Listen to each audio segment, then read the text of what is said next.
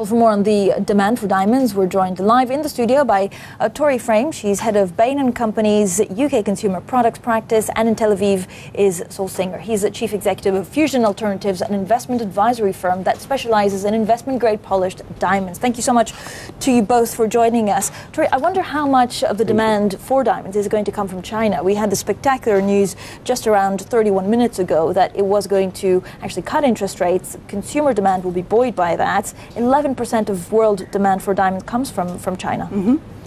China is going to be responsible for a large portion of growth in diamonds going forward. Um, it's already responsible for a large portion of luxury, um, hard luxury sales, so um, jewelry and watches.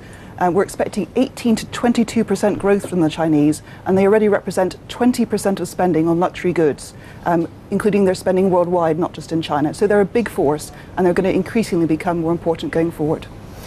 And so let me ask, you know, we were talking here, here about diamonds in general. Let me ask you, how important is it that it, you know exactly what you're buying? If you're talking about diamonds as an alternative investment, I mean, they need to be safe. Uh, it seems like a difficult market for an investor just to, to go and buy diamonds, you know, to keep them safe. Yes, that's correct, and that's something that has been a challenge to the emerging diamond investment market over the last decade.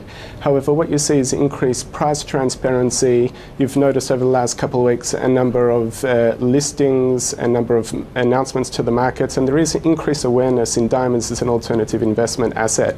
The issue is getting access to the right diamonds at the right prices mm-hmm. and knowing what you're buying. Uh, the average investor off the street is relatively challenged in order to get to those diamonds. It's really in the interdealer market where the where the bulk of the buying does occur. So there needs to be some sort of professional expert intermediary between the retail investor and the interdealer global diamond market. Sorry, I bought one big diamond in my life. I got a little certificate that came with it. I couldn't tell Correct. you what a good diamond looks like and what a bad diamond looks like. Give me a gold bar, I can tell you what's going on. Mm. I, how big a problem is that? That is one of the big challenges in actually um, creating a, um, a market for diamonds, the issues in valuation.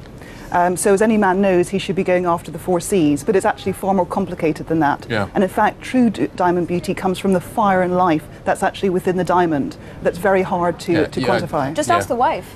Well, no, well, that's, that's, that's the danger in the situation. But, but, like, but things like fire and life, I, I don't understand yes. that. From an investment point of view, I just I've, don't understand what that means. Saul, your view?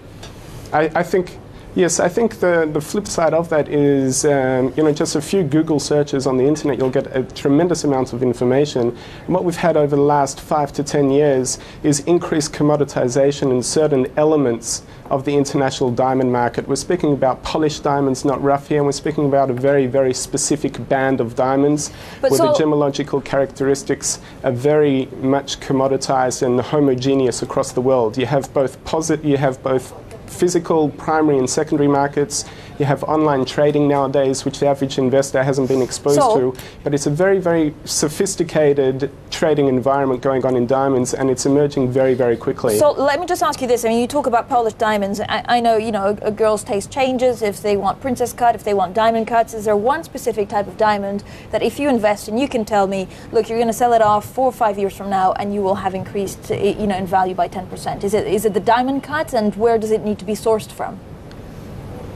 Yes, I mean, it, you have to get to the right sources, and obviously that's what Fusion Alternatives does in the global international diamond markets. But um, essentially, you know, we look the traditional investment grade diamond is traditionally the round shaped diamond. It's proven over history to be very, very steady. There's high liquidity in that shape of diamond, there's high price transparency, and those are the two real issues facing the emergence of diamonds as an alternative investment.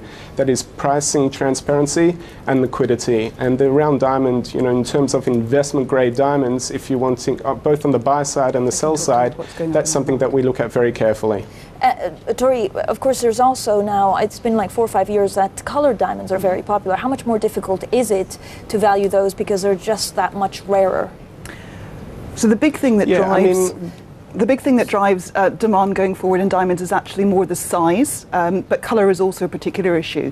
Um, so if you look after the, the last uh, 10 years or so, um, one carat diamonds have remained roughly flat in size, in, um, in price versus three carats have been growing at 10%. And it's around the, the, the $9,000 mark. I know there's an index. I was looking into it. Guys should be listening to, to get I am paying great attention, I can assure you. The, the interesting thing is, is that the uh, three carats have grown at 10% and the over five carats at 17%. So it's really the large diamonds that are seeing a lot of demand historically and we expect to see going forward as well. But so is that not dangerous? I guess because then it, you, it, it almost becomes so rare that it is not a very liquid market. It's almost like an art market. So from a consumer demand perspective, that's where it's really interesting, um, the large diamonds.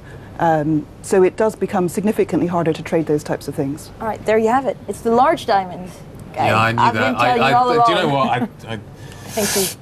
yeah. Tory I mean, Frame, head obviously coming from a Bain. Uh, so I'm sorry, we have to leave it there, but we'll get you back on because we, we all love talking Sure. about diamonds, especially especially the ladies in, in this duo. exactly. Tory Frame of Bain and Co.'s UK Consumer Product Practice and Saul Singer, Chief Executive of Fusion Alternatives. Thank you both for joining us on City Central.